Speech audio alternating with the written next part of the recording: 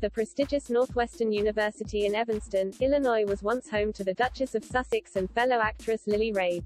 The latter, who has had a prolific career in Hollywood including 10 years in the TV horror series American Horror Story recently shared some memories of her time in uni with Meghan Markle around 20 years ago. She was a few years ahead of me but yes, we had I believe the same acting teacher and met sort of early on when I was a freshman, Rabe told 9 Honey. I was introduced by our acting teacher that she would show me the ropes and show me around campus a little bit, and she was very lovely. The actress added that she has seen Meghan since graduating, but not in a while. The Duchess attended Northwestern from 1999 to 2003, finishing a year prior to Lily Rabe's graduation. The American Horror Story star graduated and went on to star opposite Al Pacino on Broadway before getting into television and film. Meghan holds a joint Bachelor of Arts degree in Theatre and International Relations.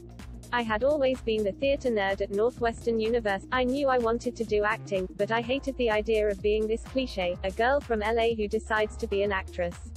I wanted more than that, and I had always loved politics, so I ended up changing my major completely, and double majoring in theater and international relations, the Duchess told Marie Claire in 2013. By my junior year I had finished most of my credits, and I applied for an internship at the U.S. Embassy, so I ended up working in the embassy in Buenos Aires for a few months. It was during their economic devaluation and our Secretary of the Treasury at the time, Paul O'Neill, was there. So I'm 20 years old, in Buenos Aires, in a motorcade, doing that whole thing. I thought for sure I would still have a career in politics. The same university connects not only Markle and Rabe but also Princess Diana. Before Meghan joined the institution, back in 1996, her future mother-in-law Lady D visited the school and helped raise almost $1 million.